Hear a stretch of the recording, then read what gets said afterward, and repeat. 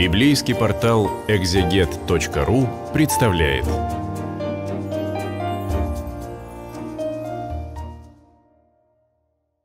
Сегодня на библейском портале «Экзегет» мы начинаем новый цикл бесед по книге «Судей». А книга «Судей» по-еврейски «Сефер Шефтим» а это книга, в которой рассказывается, как а, до наступления периода царей еврейским народом после смерти Иисуса Навина управляли судьи. Судьи или шефтим – это были люди из разных колен, разного социального положения, которых избирал Господь. Среди них были женщины, мужчины, то есть самые разные люди, разного достатка, с разным темпераментом и с разным поведением. Часто задается вопрос, а почему Господь э, попустил так, что после смерти Иисуса Навина а, язычники как бы порабощают и ограничивают еврейский народ. Дело в том, что когда умер Иисус Навин, э, по нему не совершали траура. Мы знаем, сколько дней совершался траур по Моисею, по Аарону. Но ничего не сказано об э, Иисусе Навине. И с чем это связано? Это связано с тем, что люди получили свои наделы земли – им было не до этого, чтобы молитвенно оплакивать э, своего вождя, э, военного, политического и религиозного лидера. Они возделывали свою землю, они э, проводили разграничения между участками земли, то есть были заняты многими другими вопросами. И считается, что Елиазер, первосвященник, умирает а, сразу вскоре после смерти Иисуса Навина, именно потому, что это было наказание для них, для евреев. Они не оценили значение Иисуса Навина, они не провожали его как положено. И как наказание умирает и первосвященник – через какое-то время умирают старейшины. И гора, на которой был похоронен Иисус Навин, есть такое древнее предание, она от негодования затряслась. И был страх у евреев, э, что она может поглотить их всех. Но они все равно занимались своими наделами земли, это для них было важнее за непочтительное отношение к представителям религиозного руководства народа Бог наказывает людей. А в книге Руфь э, говорится о том, это был период, когда судили судей, то есть осуждали своих религиозных лидеров. За это был голод. А в случае со смертью Иисуса Навина и отсутствием траура по нему Бог наслал власть иноплеменников. И мы читаем первую главу. Здесь э, следующие темы. Победа израильтян на юге Палестины. Племя Вениаминова не стало прогонять Ефусеев. Племя Ефрема и Манасии завоевывает Вифиль израильтяне не стали прогонять хананеев и амареев.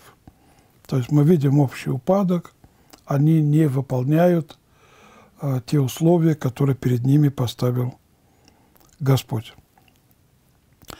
И мы читаем. «По смерти Иисуса вопрошали сыны Израилева Господа, говоря, кто из нас прежде пойдет на хананеев воевать с ними?» И сказал Господь, Иуда пойдет. Вот я предаю землю в руки его». Иуда же сказал Симеону, брату своему, «Войди со мною в жебий мой, и будем воевать с хананеями, и я войду с тобою в твой жебий». И пошел с ним Симон. Таким образом, мы видим, что первый судья еврейского народа, Шефтим, это был Иуда, который э, решил разделить свое э, служение судьи э, со своим братом, чтобы он вошел с ним в один жребий. Мы здесь прочитали «И сказал Господь». Возникает вопрос, а как сказал Господь? Господь мог говорить через Урим или Тумим. Эти камни висели э, на груди э, первосвященника, тогда это был Финес. И на нарамнике, где были имена каждого из колен. И когда эти камни двигались, то вспыхивали разные буквы, буква к букве, и появлялись слова. Или это был кто-то из пророков, который сказал, что Иуда должен пойти на это поприще. И пошел Иуда и предал Господь Хананеев и фаризеев в руки их, то есть Иуды и Симеона, и побили они из них в Эзеке 10 тысяч человек. Ну, конечно, они пошли с армией. В Эзеке э, встретились они с Адани Везеком, сразились с ним и разбили хананеев и фаризеев. Адани Везек побежал, но они погнались за ним и поймали его, и отсекли большие пальцы на руках его и на ногах его. Тогда сказал Адани Везек, семьдесят царей с отсеченными на руках и на ногах их большими пальцами собирали крохи под столом моим. Как делал я, так и мне воздал Бог. И привели его в Иерусалим, и он умер там. Во-первых, мы видим, что ситуация кардинально поменялась. К смерти Иисуса Навина было спокойствие, никто не нападал на евреев. А здесь возникла необходимость обороняться. То, как они поступили с Адани Везеком, это было наказание Божие. Потому что, как мы здесь видим, Адани Везек 70 царей обесчестил таким же образом. Отсекал на руках и на ногах их а, большие пальцы. И он получил то, что получил. Мера за меру. И воевали сыны Иудины против Иерусалима. Иерусалим тогда был языческим. И взяли его, и поразили его мечом, и город предали огню. Иерусалим с этого момента не становится еврейским городом. Он станет таковым только в дни царя Давида. Это была временная победа.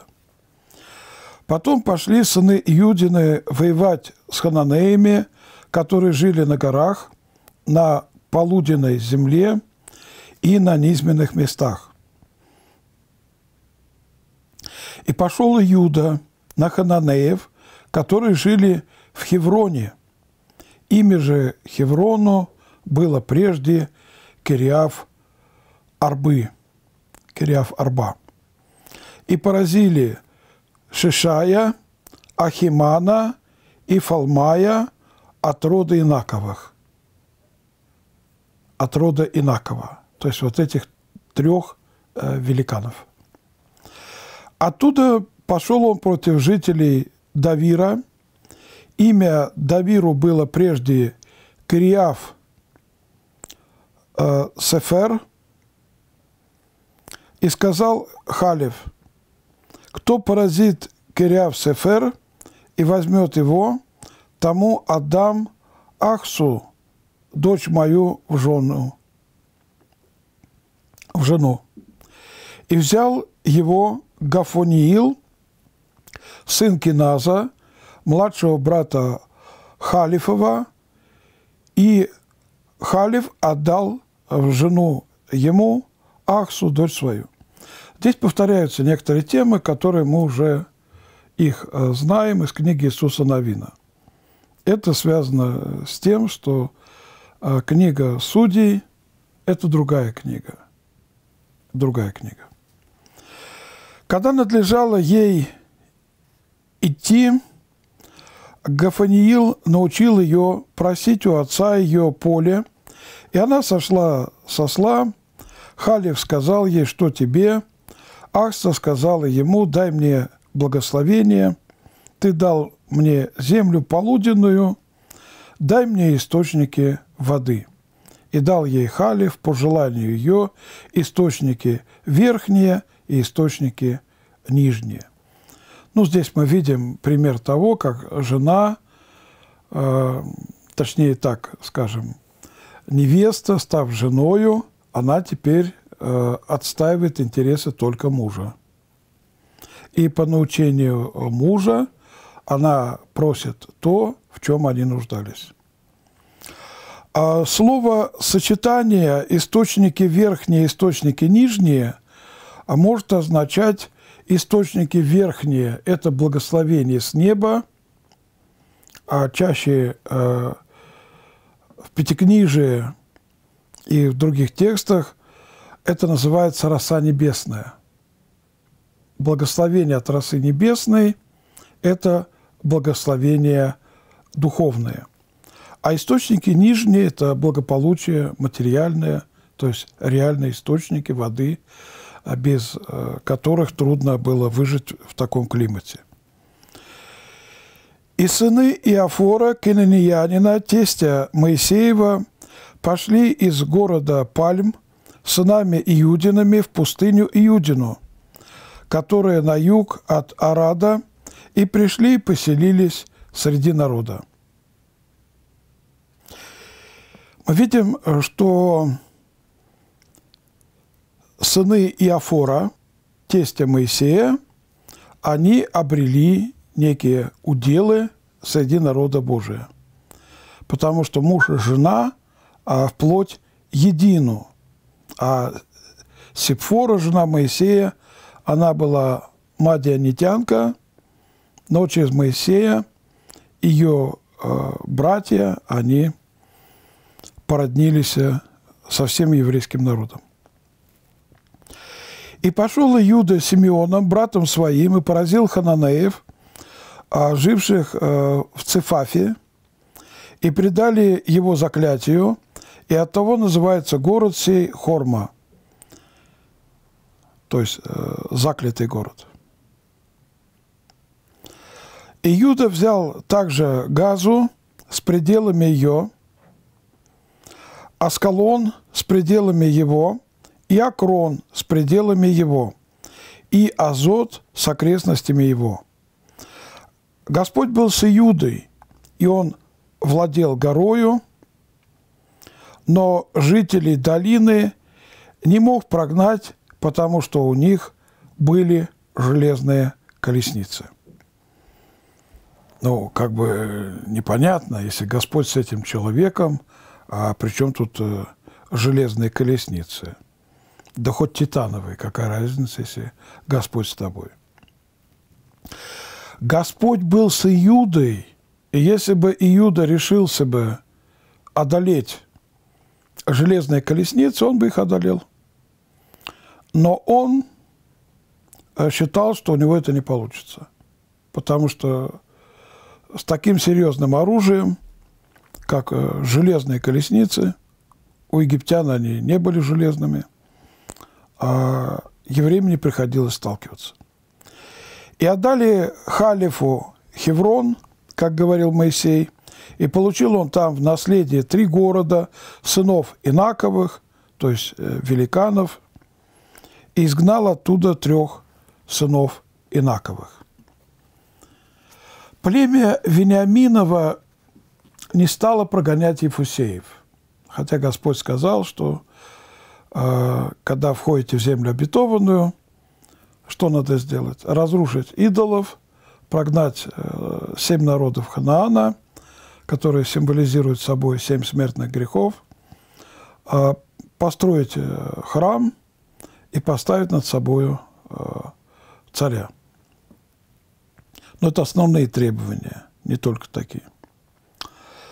И вот о том, как племя Вениаминова не стало прогонять Ефусеев, сказано, 21 стих. «Но Ефусеев, которые жили в Иерусалиме, не изгнали сыны Вениаминовы, и живут Ефусеи сынами Вениамина в Иерусалиме до сего дня». До сего дня, то есть э, когда была написана эта книга, она была написана до времен Давида, они там жили, но потом их там не стало. Далее рассказывается о том, как э, племена Ефрема и Манасия завоевывают Вифиль. И сыны Иосифа пошли также на Вифиль, и Господь был с ними – вот если про Иуду сказано, что Господь был э, с ним, но он испугался э, железных колесниц, то про этих двух, эти два колена, они знали, что Господь с ними, и это вдыхало бесстрашие в их сердца. И сыны Иосифа пошли также на Вифиль, и Господь был с ними – и остановились, и высматривали сыны Иосифовы Вифиль. Имя же городу было Луз. И увидели стража, точнее, и увидели стражи человека, идущего из города, и взяли его, и сказали ему, покажи нам вход в город, и сделаем с тобой милость. Он показал им вход в город, и поразили они город мечом, а человека сего и все родство его отпустили. То есть он показал, э, где можно незаметно войти в город. Человек сей пошел в землю Хетеев и построил там город, и нарек ему имя Лус. Это имя его до сего дня. Похоже, ему стыдно все-таки э, было жить в городе, который он предал. И Манасия не выгнал жителей Бевсана, а, который есть Скифополь, и зависящих от него городов Фанаха, и зависящих от него городов жителей Дора, и зависящих от него городов жителей Евлеама, и зависящих от него городов жителей Мегедона – и зависящих от него городов, и остались хананеи жить в земле всей. Это обернется трагедией для первого царского дома, царя Саула из, из колена Вениаминова. Он и его сыновья, мертвые, будут повешены на стенах Бефсана. А израильтяне как бы пожалели – и не тронули этих людей. Когда Израиль пришел в силу, тогда сделал он хананеев данниками, но изгнать не изгнал их. И Ефрем не изгнал хананеев, живущих в Газере, и жили хананеи среди их в Газере и платили им дань. То есть они нарушали, евреи нарушали волю Бога о том, что надо изгнать семь народов – это как бы соглашательство было э, со смертными грехами собственными. Потому что семь народов Ханаана символизируют собой семь смертных грехов. А святая земля – это как бы внутренний мир верующего человека. И надо было изгнать из этого внутреннего мира верующего человека э, семь смертных грехов. Здесь э, очень много аллегорично. И Завулон не изгнал жителей Кетрона и жителей Наглола, и жили хананеи среди их и платили им дань. И Асир не изгнал жителей Акко, которые платили ему дань, и жителей Дора, и жителей Сидона, и Ахлава, Ахсива, Хелвы, Афека и Рехова. И жил Асир среди хананеев, жителей земли той, ибо не изгнал их. И Нефалим не изгнал жителей Вевсамиса и жителей а, Бефа Нафа, и жил среди хананеев, жителей земли той, жители же Вевсамиса и Бефанафа были его данниками. То есть получается, что на самом деле э, вхождение евреев э, в землю обетованную не было таким трагическим, как некоторые представляют, что это было как бы тотальное уничтожение тамошних народов. Мы видим, что это не совсем так. И это была ошибка евреев, потому что пройдет некоторое время, и они окажутся в порабощении им даже будет запрещено иметь точильные колеса, чтобы они не точили оружие. И оружия у них не будет. Ни у одного еврея не будет меча, представьте себе. И чтобы им заточить э, серпы, косы, им придется ходить к филистимлянам. 34 стих. «И стеснили Амареи сынов Дановых в горах, ибо не давали им сходить на долину. Сходить на долину это было совершенно необходимо, потому что там чаще встречались источники воды. Здесь мы видим, что Амареи – это более сильное племя, они э, уже начинают угнетать евреев. И остались Амареи жить на горе Херес, где медведи и лисицы – в Аи Алоне и Шалвиме. То есть они там жили, проявляя то э, мощь медведя, то хитрость лисицы. Но рука сынов Иосифовых одолела Амареев, то есть сыны Иосифовы, э, отомстили за угнетение Дана – и сделались они данниками им. То есть Амареи стали платить дань евреям.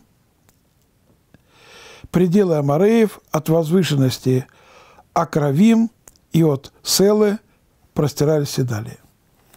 Итак, э, эта глава – это общий обзор положения в Палестине после смерти Иисуса Навина. И мы видим, что положение изменилось э, в худшую сторону. И уже Э, есть попытки ограничивать перемещение евреев, как в случае с коленом Дановым, которые жили в горах. И это связано с тем, что евреи сами оставляли этих людей жить среди себя. Таким образом, они нарушали закон Божий, который повелевал э, прогнать семь народов Ханаана, которые символизируют собой семь смертных грехов. То есть, когда мы идем на какие-то компромиссы, собственными грехами, это очень опасно для нас самих. Итак, сегодня мы окончили э, чтение первой главы, и в следующий раз, если будем живы, Господь позволит, мы будем читать вторую главу этой книги.